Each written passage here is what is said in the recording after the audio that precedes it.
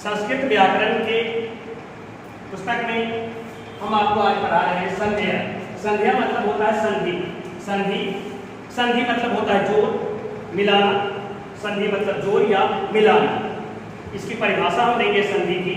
दो वर्णों के मेल से उत्पन्न होने वाले विकार या परिवर्तन को संधि कहते हैं। पुनः देख लेंगे, संधि किसे कहते हैं? दो वर्णों के मेल से उत्पन्न होने वाले विकार या परिवर्तन को बदलाव को संधि कहते हैं। जैसे नर, ज़ोर, इंद्र। नरेंद्र नरेंद्र नरेंद्र का संधि विच्छेद अगर कोई कहे कि नरेंद्र का संधि विच्छेद क्या होगा तो बोलेंगे नर, ज़ोर, इंद्र, नरेंद्र। जगदीश्वर का संधि विच्छेद क्या होगा तो जगत, ज़ोर, ईश्वर, जगदीश्वर। संधि के कितने भेद होते हैं? तो प्यारे बाबू, ध्यान से समझ लीजिए कि संधि के तीन प्रकार होते हैं। संधि के तीन भेद होते हैं। कौन कौन से?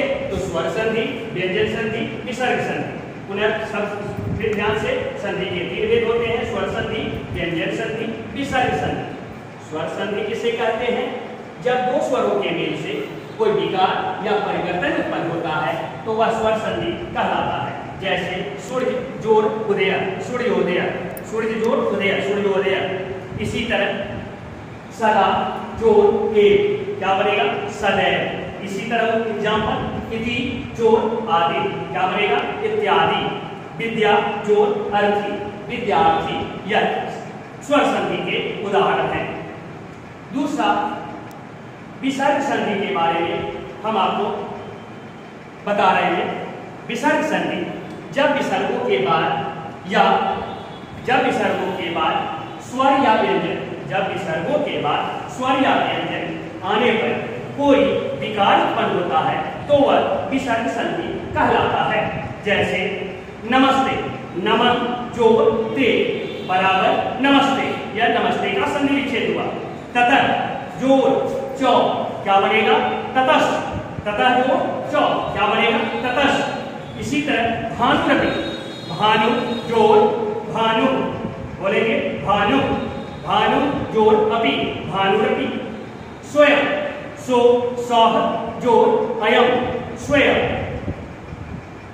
इस तरह से हम जो बताएँ विसर्ग संधि के बारे में, उसको परिभाषा, उसकी परिभाषा होगी विसर्ग संधि किसे कहते हैं?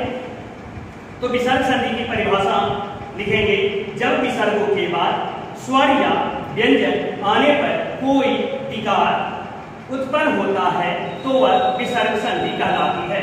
जैसे नमन ज़ोर दे नमस्ते, ततः, ज़ोर, चौ ततश्च ततश्च अब स्वर संधि के भेद स्वर संधि के कितने भेद होते हैं? तो स्वर संधि के पाँच प्रमुख भेद होते हैं। स्वर संधि के पाँच प्रमुख भेद होते हैं। कौन कौन सा?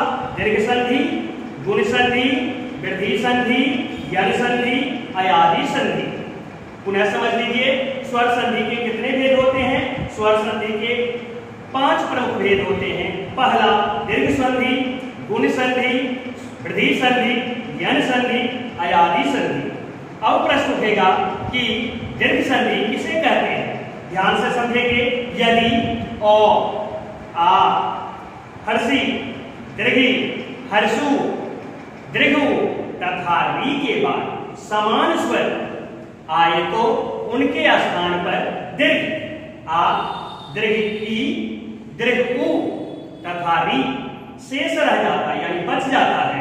यह दीर्घ संधि कहलाती है।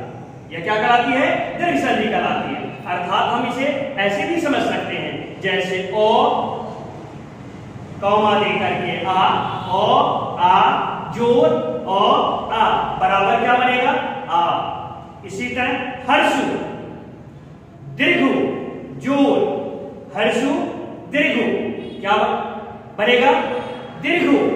इस तरह से हम दीर्घ संधि के बारे में और उदाहरण से समझ सकते जैसे ओ ज़ोर ओ, बराबर क्या बनेगा? आ। इसका उदाहरण जैसे दीन ज़ोर अंक क्या संधि विच्छेद किसका होगा? दिनांक इसी तरह तवायम, तव ज़ोर अयम, तवायम। इसी तरह नायम का संधि विच्छेद बनेगा। नौ ज़ोर अयम, नायम। नौ ज़ोर अयम, नायम। ममायम। ममा, यम, मम, ज़ोर, अयम। अब दूसरा उदाहरण से समझिए। ओ ज़ोर, आ। और रहेगा ज़ोर, आ। क्या उच्चारण आएगा? आ। जैसे आपको बहुत ही सिंपल, साधारण पुस्तकालय शब्द का संधि विच्छेद अगर करना पड़े तो पुस्तक ज़ोर आलय बोलेंगे। पुस्तक ज़ोर आलय। आलय आलय नहीं करके दूठो बगल में उसके बिंदु जो विसर्ग का चिन्ह बताए हैं, वो दे देंगे। तो प्रोनाउंसिएशन उच्चारण होगा पुस्तकालय इस तरह पुस्तक ज़ोर आलय पुस्तकालय ममादेश ममादेश का संधि विच्छेद होगा। मम, ज़ोर, आदेश। इसी तरह हिमालय का संधि विच्छेद बनाएँगे। तो हिम, ज़ोर, आलय, हिमालय। तथायम का संधि विच्छेद अगर करना पड़े तो तथा ज़ोर अयम यानी अ ज़ोर आ, बराबर आ की मात्रा आती है। आ का उच्चारण होता है।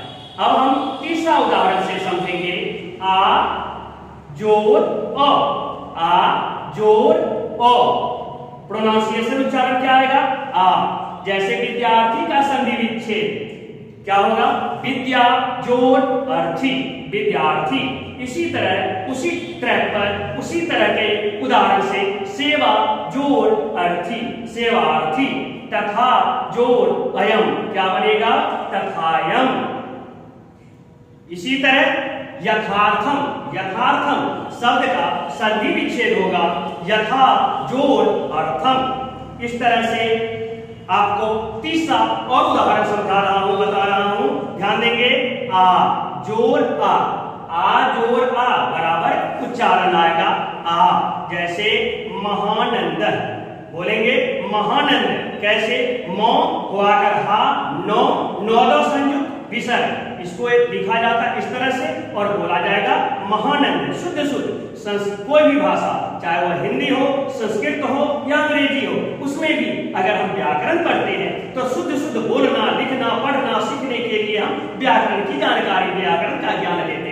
इसलिए थोड़ी शुद्धता पर ज़रूर ध्यान देंगे। जैसे हम बता रहे थे, महानंद, महाजोर आनंद।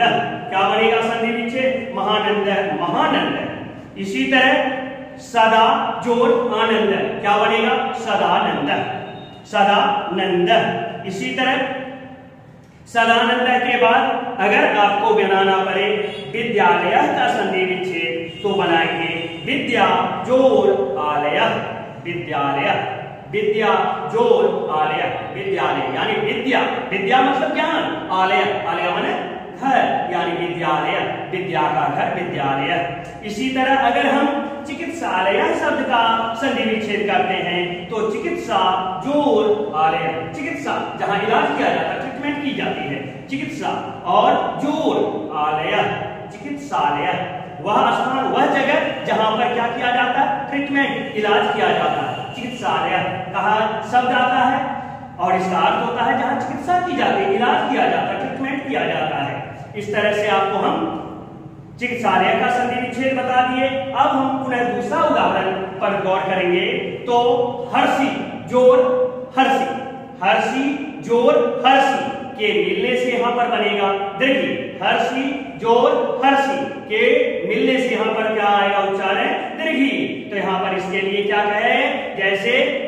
कविंद्र।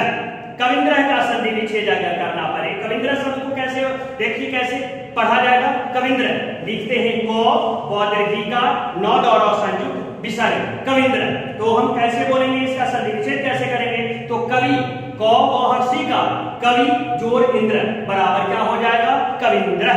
इसी तरह मुनिंद्र। मुनिंद्र शब्द जो लिखते हैं मोहर्षुकार नौ दीर्घीकार नौ दौरा संयुक्त विसर्ग मुनिंद्र।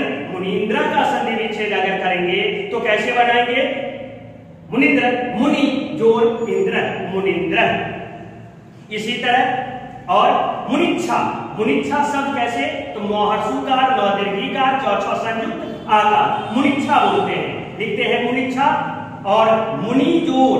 मुनि ज़ोर क्या होता है? तो मुनि ज़ोर इच्छा, बराबर मुनिच्छा। अगर हमको अपीदम अपीदम शब्द लिखना है तो अ पौदीर्घीकार द, मोहलन।